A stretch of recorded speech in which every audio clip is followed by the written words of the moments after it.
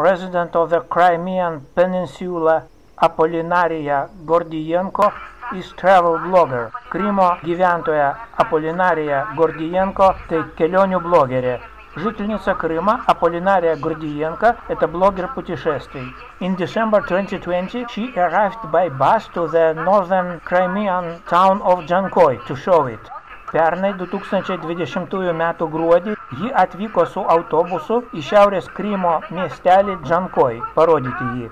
В декабре прошлого 2020 года она прибыла на автобусе в небольшой северо-крымский город Джанкой показать его. Now minute 037 of the original video, I provide a link below. In the background on the left, an elderly man has likely been waiting for Apollinaria Gordienko. minutė 037 pagal originalą. Nuorodą pateikiu po šituo video. Kairėje tolimesnėme plane pagyvenęs žmogus aiškiai laukė Аполлинариос Гордиенко. Минута 0.37 по оригинальному видео. Ссылку на него даю под этим видео. Слева на дальнем плане пожилой человек явно ожидает Аполлинарию Гордиенко.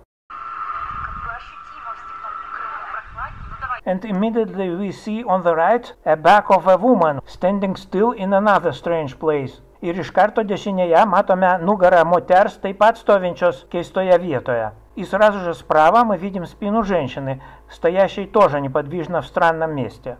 She has been watching Apollinaria coming, while the old man watched his female colleague, and now, in his turn, he will watch Apollinaria's back. Ji stebėjo Apolinariją ateinant, o tas vyras stebėjo ją pačią ir dabar savo ruoštų stebės Аполлинариос nugarą. Она наблюдала за приближающейся Аполлинарией, а тот мужчина наблюдал за ней самой, и теперь, в свою очередь, будет наблюдать спину Аполлинарии.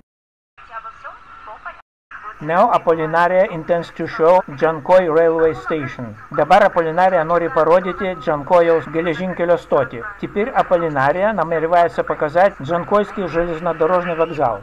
Minus 1.11, minutė 1.11, minuta 1.11. A little to the right of the road sign, a schoolboy's bright face is visible. Трупутį dešiniau kelio ženklo yra matyti šviesus моkinio вейдас. Чуть правее дорожного знака видно светлое лицо школьника.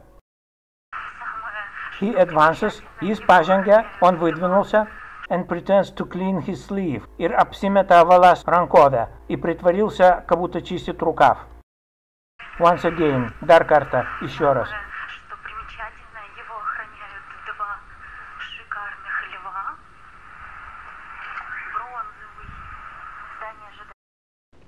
Now a trip to the small eastern Crimean town of Vladislavovka, recently in October 2021. A link is provided below. Dabar nesena kelionė į Vladislavovkos miestelį rytų Kryme šių 2021 metų spalį. Nuoroда yra по šituo видео. Теперь путешествие в небольшой городок Владиславовка в Восточном Крыму. Недавно, в октябре 2021 года. Ссылка есть под этим видео. Apollinaria is interested in this abandoned building and wants to bypass it on the left side. Apolinarija susidomėjo šituo apleistų pastatu ir nori apeiti jį iš kairės.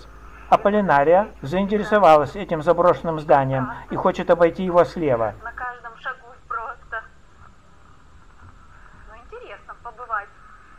вообще? Напишите, вот не курортный Крым. Now minutes 11.57. Dabar minutė 11.57. Теперь минута 11.57. But she doesn't see that an elderly female agent is waiting for her around the corner, suddenly called out to this desert place by her operative right from her kitchen, somewhere nearby. tačiau ji nemato, jog yra jau laukiama už kampo šitos pagyvenusios agentės, matomai ką tik tai iškviestos į šitą tuščią vietą tiesiog iš savo virtuvės kažkur netoliese. Но она не видит, что ее уже ждут за углом. Та пожилая агент, которую ее оперативник, видимо, только что вызвал сюда, в это пустынное место, прямо из ее кухни, где-то недалеко. Let's repeat. Покартоким. Повторим.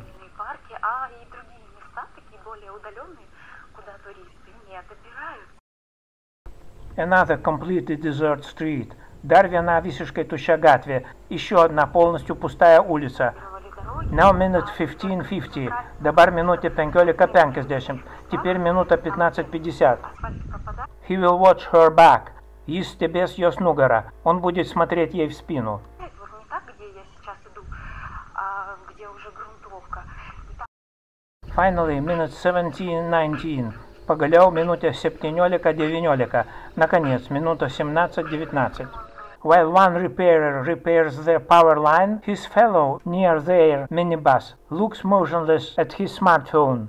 Kol vienas remontininkas remontuoja elektros liniją, jo draugas шаля jų машинос, nepakeldamas akių žiūri į смартфона. Пока один ремонтник ремонтирует линию электропередачи, второй около их машины неотрывно смотрит в смартфон. I am sure he is checking Apollinaria's geolocation. Esu tikras, kad jisai seka Apollinarijos geolokaciją. Я уверен, что он следит за геолокацией Apollinarijai.